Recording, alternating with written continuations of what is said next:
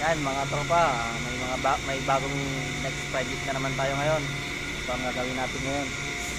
Bumper. Yan, punit. Yan. Repair lang natin to ngayon. Intro muna tayo mga tropa. Okay?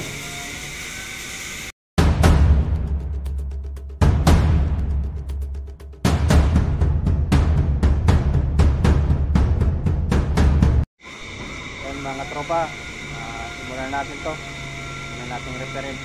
Tara.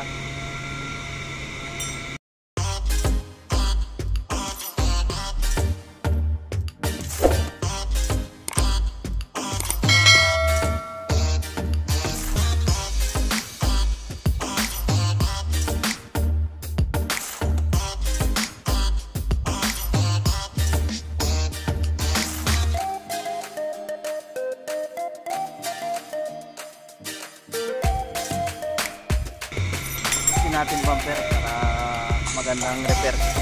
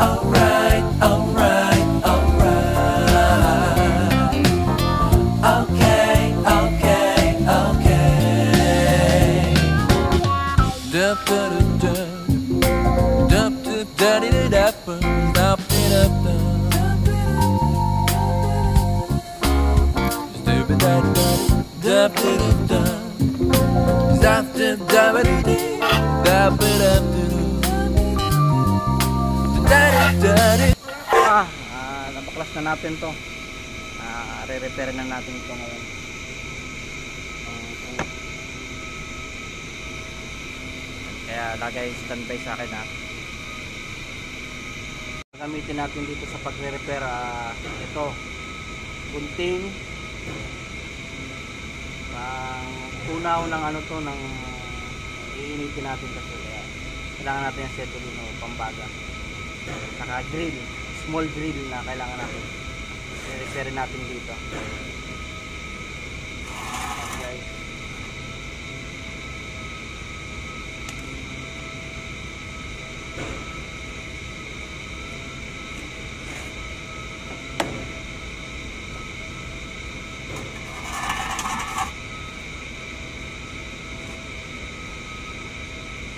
kuha tayo ng grill pang repair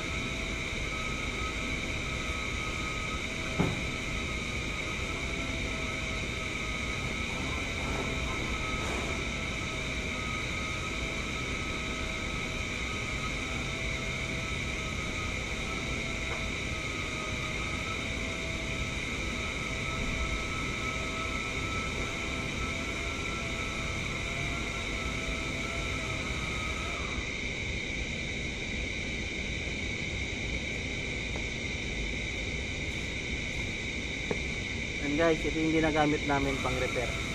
Small grill. Yan. Lalapat namin yan doon. Lalapat ko dito yan. Sa purot na. ito, yung, ito ang gamit ito, ito ang gagamitin ko. Pang repair sa punit na bumper. Manipis lang dapat to eh. Ayan.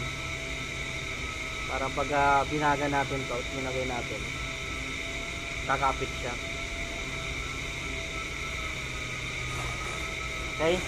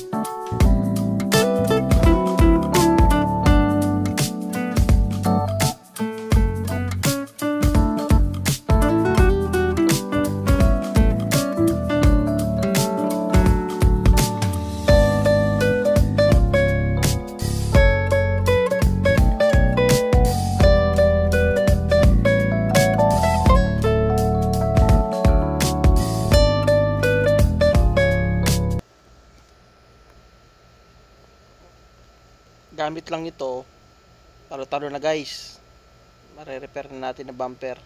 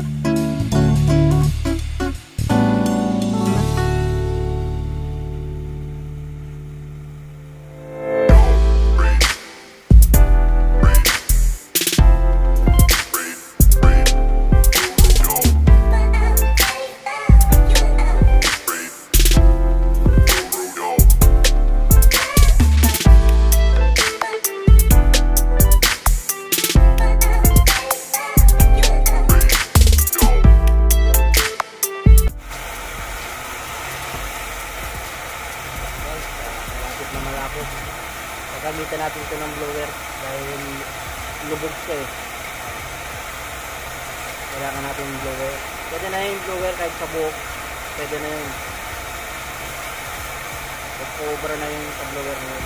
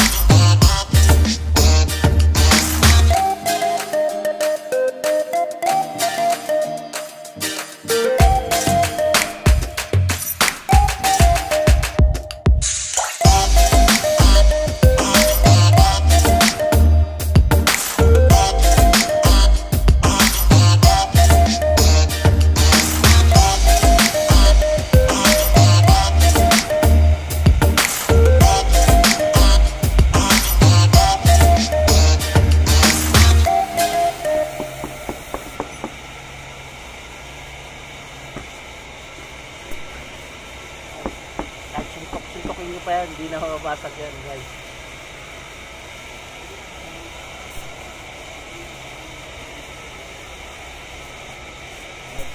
Dito ko dito na malakas yan. Dito mabasag yan.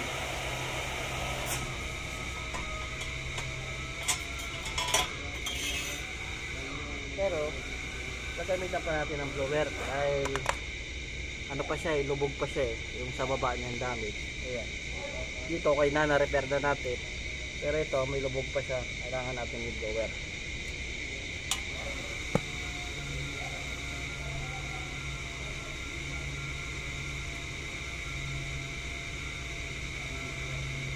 guys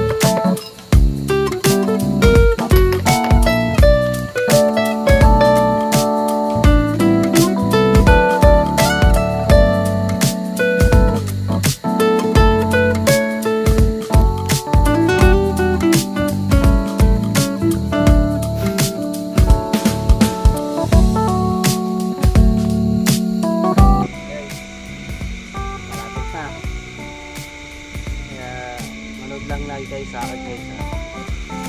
don't forget subscribe and click the bell button para kayo update sa mga video. Okay? Ka to tapos kaya hanggang sa dulo panoorin nyo pa rin. Okay? Guys ah, sasalpak na natin